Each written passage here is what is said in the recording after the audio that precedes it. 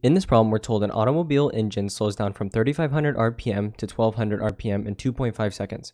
Calculate A, its angular acceleration, assumed constant, and B, the total number of revolutions the engine makes in this time. So let's go ahead and write down what we're given first. So given, so what are we told? So we know the time it's going to take to slow down is 2.5 seconds. So we can write that t equals 2.5 seconds so this is going to be our time interval, right, from the beginning to the end. And we know it's going to slow down from 3500 RPM to 1200 RPM. So what this is, uh, RPM is essentially telling us, right, it's going to be angular velocity. So this is going to be initial angular velocity and final.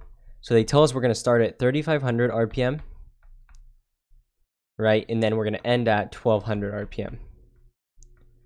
So these are going to be our two values. And so essentially this is what we need to solve this problem.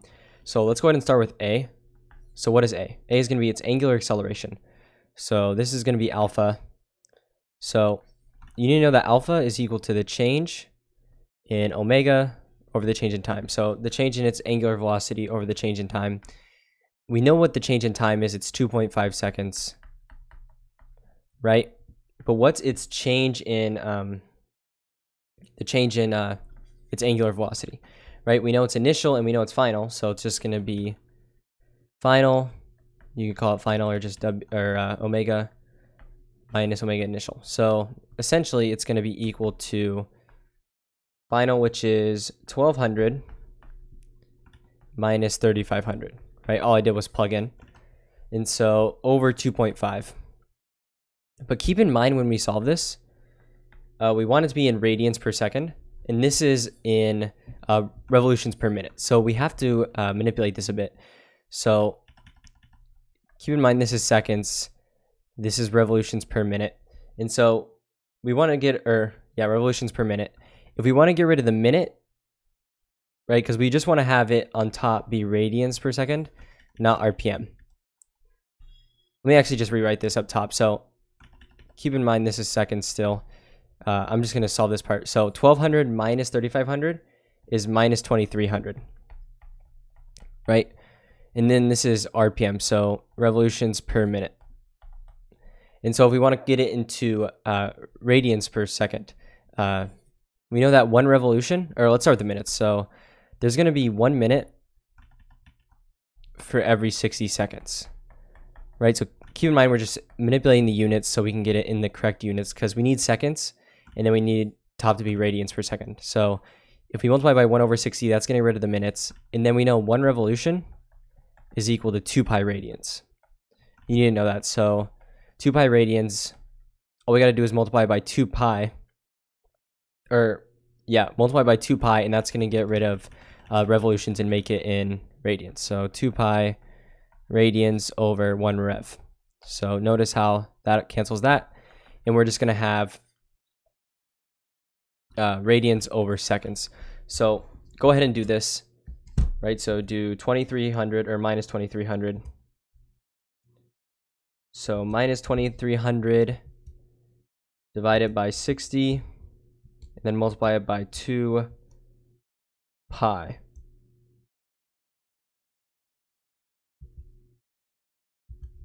So yeah, so go ahead and do this. You should get minus 240 0.855. So this is radians per second. So all we did was uh, we were going to write it up here, but we just changed it. So this is going to be the change in our angular velocity. So minus 240.855 radians per second over 2.5 seconds. All we're doing is following this formula. We just solved for change in angular velocity over the change in time.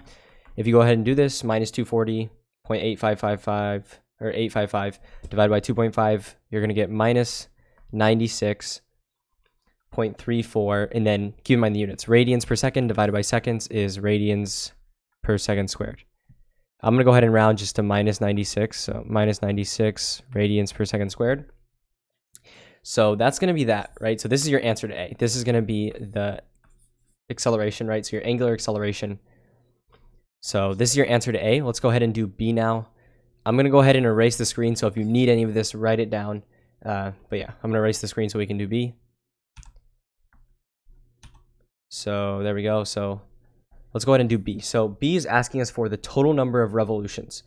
And so in order to solve this, there's a formula you need to know to solve for the number of revolutions, which is essentially kind of like, uh, so it's going to be theta, which is going to be the number of revolutions, equals 1 half times uh, initial angular velocity plus final angular velocity times t. So you can use this formula, uh, but make sure when you plug this in, uh, what you're going to want to do is have this be in, well, the way we're going to do it is we're going to plug this in to be revolutions per minute, right? Because if we write down our given again, uh, we know, let me just write down the given again. So t equals 2.5 seconds.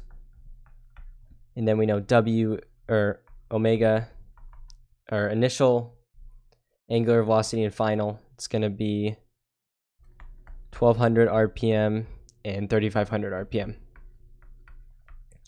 Right, so all we got to do is just plug it into this formula. So theta, or the number of revolutions, is going to be equal to 1 half times 12, or 3500 plus 1200 times, let me actually write the units. So this is RPM plus 1200 RPM times 2.5 seconds. Right, so we need to be in revolutions, but notice how we have minutes. This is like revolutions over minutes, right? But what we need to do is make sure this is in seconds because it's going to need to cancel out with this seconds. So we just have revolutions, right? Because this is going to be seconds. So we need it to cancel. So this has to be in seconds. So, or yeah, so this has to be in seconds. So we have to convert this so let's just rewrite this. So theta equals 1 half 3500 plus 1200 is going to be 4700 RPM times 2.5 seconds. So let's go ahead and convert this. So 1 half times 4700, but we're going to change this. So 4700 RPM revolutions per minute. We're going to convert it to uh, seconds. So we know there's one minute for every 60 seconds. So if you just take 4700, divide it by 60, and plug that in your calculator, you're going to get 78.333 and so on. So this is going to be revolutions per second. And now when you plug it in, right, 78.333 revolutions per second, and then we're multiplying by seconds right? So this is seconds. These will cancel now, and you're just going to have revolutions. So go ahead and do this. So do 0.5 times 78.333. Then multiply that by 2.5. And you're going to get 97.917. I'm just going to go ahead and round to 98. So 98, and then this is revolutions right? So 98 revolutions. Uh, this right here is your answer to B. So yeah, answer to B is 98 revolutions. Your answer to A was minus 96 uh, radians per second squared. But yeah, hopefully you found this useful.